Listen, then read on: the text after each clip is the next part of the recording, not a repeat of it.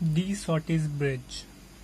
Now the De Sauty's bridge is one of the most simplest bridge you can ever make.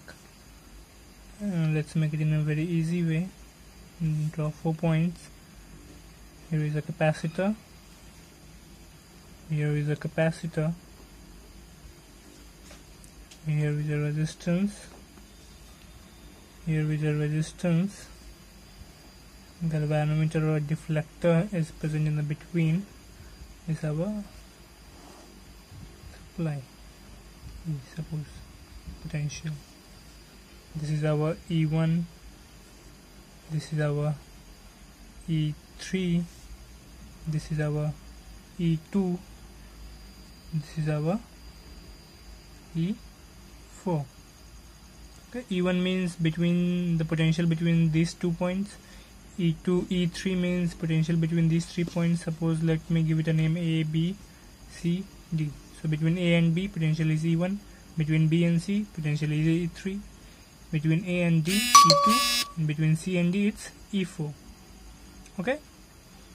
So let's uh, have a look at the more uh, neat diagram. So this is our actual De bridge diagram. So what happens? The current goes from here I1 and this splits into I2 I1 and I2 I1 goes till this. And now at the balance condition there is no deflection in this. So no current flows through this. So this I1 current flows through this resistor so this is also I1 similarly this I2 current flows from here. Since there is no uh, movement of current in this path so I2 also moves uh, freely. So this I2 and this I2 are same same current. So at balance there is no deflection in the galvanometer or a deflector that is 0 so E1 is equals to E2 and E3 is equals to E4 now since uh, E1 is equals to E2 what we have? I1 into C1 that is the impedance X C1 X C1 equals to 1 by j omega C1 or in a more uh, easy way it is said Z1 that is 1 by j omega C1 this impedance is called 1 by j omega C2 this resistance or impedance R3 and Z4 equals to R4 this is our impedance. Okay so at balance condition what happens? Z1 into Z4 equals to Z2 into Z3 Z2 into Z3 this so we will simply equate this.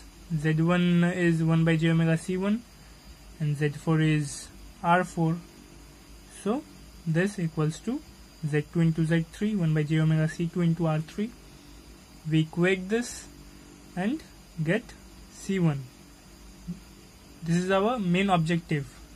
What uh, we are doing uh, is we are having this uh, apparatus suppose. So our c1 is the unknown capacitance and c2 is the known capacitance. This this this value we will be getting.